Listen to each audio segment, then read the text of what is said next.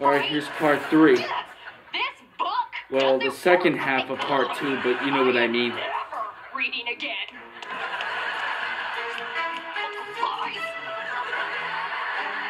Pretending you're from Canada. And then Bose came back to the table and he had a goatee. Oh, wow, that's crazy. Yeah, I'm gonna move you a little bit to your right. Uh, okay. Oh, and then he said, tonight's 60 Minutes is about Jimmy Bucket. Who's Jimmy Bucket? Jimmy Buffett, big song for old people about cheeseburgers and breaking your flip flop. Uh, is Ray in that box? No. Are you in there too? Don't ask about the box. Okay, to everyone who may or may not be in the box, I think Glurp is doing something to Bose. You're just jealous because you're in love with Bose. Right? Nailed it. I am not in love with Bose. Why does everyone think that? I don't know, maybe because you're always spying on him when he's on dates with aliens. That's only happened once. That's always.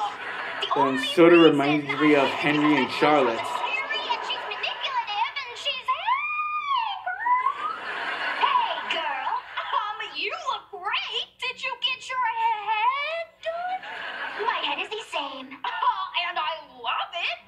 Where's Bose? We were walking home and he got tired, so he sat down on a bench to rest. He quickly fell asleep with his mouth open. Ha, ha, ha, ha, ha. Yo, that's crazy. That's a great story. I'm gonna move you over here. So was Bo still sleeping on the bench? No, he went to get the paper and then he was gone. Hey, uh, let me ask you a real quick question, Glurp. Have you ever been to Tallahassee?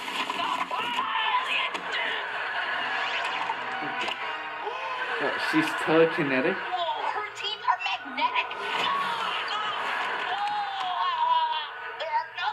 Other chests in the room you can get. Okay, Clark. Now then you're gonna be stapling as my fist.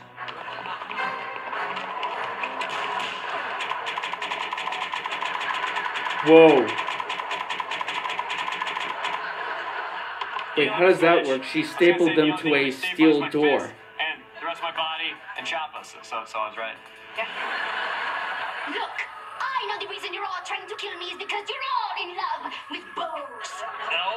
That's ridiculous. That's just Mika. I am not in love with Bose. just worried about him. Bose is as healthy as the Gorlak snake that just ate its own skin. What? He's fine. Sorry I'm late. Oh, it's cold in here. What? Yeah, yeah, I got gunk on the corners of my mouth and I ain't cleaning it. But why is he old now? They broke me